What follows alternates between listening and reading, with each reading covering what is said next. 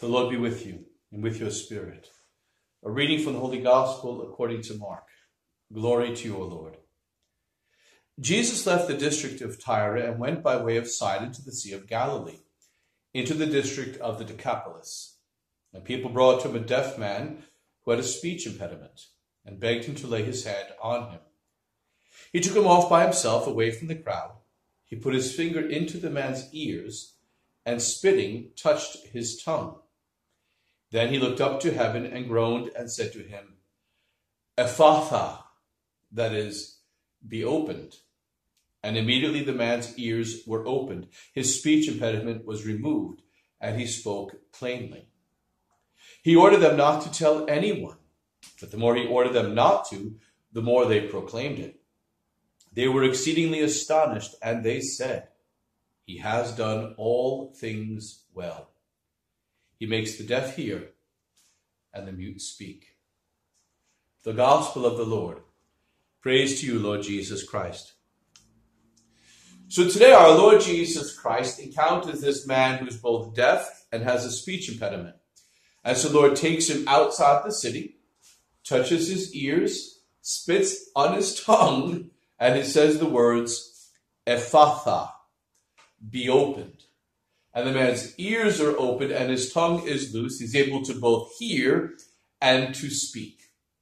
Now, everything our Lord does has meaning and purpose. And so this moment of our Lord, his, his actions are symbolic of what will be the sacraments. How the sacraments touch the body and yet through the body, the soul, and opens the soul to the workings of God.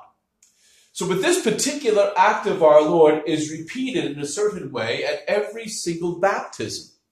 At baptism, there is the moment where the priest blesses the ears of the child and the mouth of the child and says, basically, be opened, Ephphatha. This particular small rite of baptism is actually called Ephphatha, be opened. And the Lord says, uh, the priest says, May the Lord open your ears to hear his word and your mouth to proclaim his truth to the glory of God. And so after the child is baptized, after the child is anointed, after the child receives these beautiful gifts, the priest cries out, Ephphatha, be opened.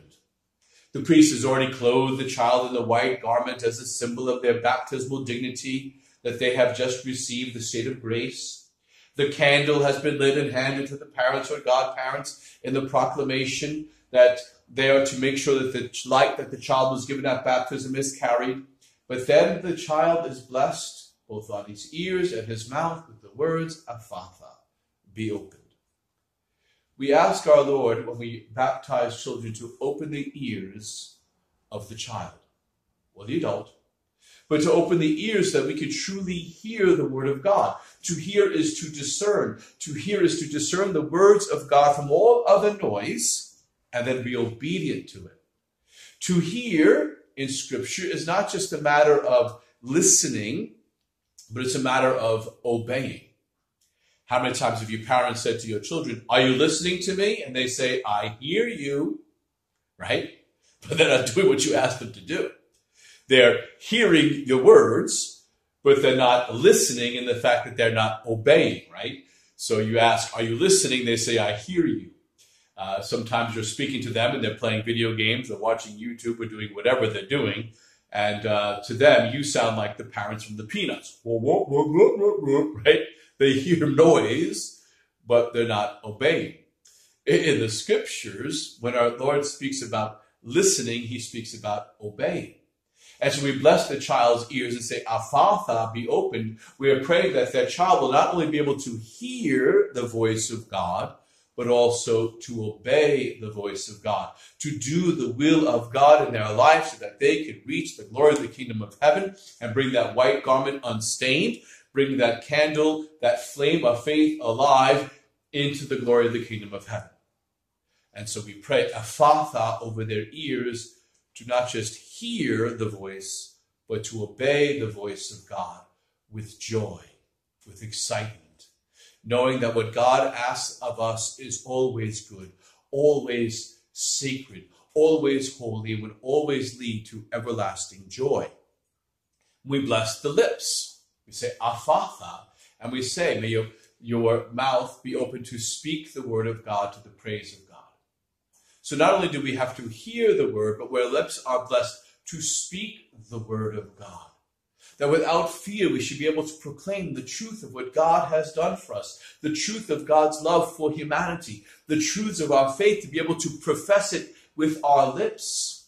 As we hear and do the will of God, we're able to speak the beauty of that God whom we hear and obey, to proclaim his love to all nations, to all people, that we not keep it to ourselves, that we branch out and proclaim to everyone the beauty of the glory of God. Ephphatha, be opened. As time goes on, it happens so often that we run into such struggles in life and difficulties, crises of faith, our ears get closed to hear the word of God. We don't hear. We get so caught up in our own interests, our own desires, what we think will make us happy, we don't hear. We don't obey. We may hear the word of God, hear the scriptures, hear our faith, and it sounds much like the parents and the peanuts. Whoa, whoa, whoa, whoa, whoa. And our Lord saying to us, Are you listening to me? And we say, I hear you. And our Lord say, But are you listening? And so throughout our lives, we hit these struggles where our ears get closed and we fail to truly listen and obey the word of the Lord. And so we need to ask the Lord, like this deaf man today, to heal us, to touch our ears, and to say again to us, Ephphatha, be opened.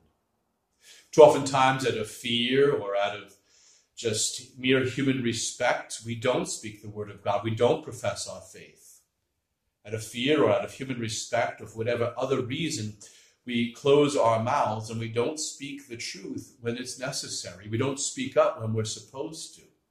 We don't share our faith when someone truly needs the sharing of our faith.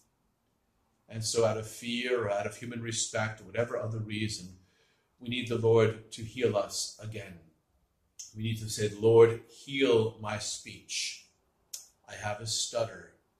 I'm not speaking plainly about you. I'm failing to speak the truth about you. I've fallen mute when it comes to faith. And so the Lord needs again to touch our lips and say the words, Ephphatha, be opened. Today, we ask the Holy Spirit to renew within us this gift that was given to us at our baptism, that our ears may once again be healed, our lips once again be healed, that our ears and our lips be opened to hear the word of God and to proclaim it without fear to the glory of God. We may hear, listen, and obey the voice of God and speak it boldly, particularly into the darkness. May we speak the light into the darkness. May we speak the love of Christ into the hatred of this world. May we speak the truth in the midst of the lies. And may the world's ears be opened to hear, to obey, and respond. Ephphatha, be opened. May God bless you.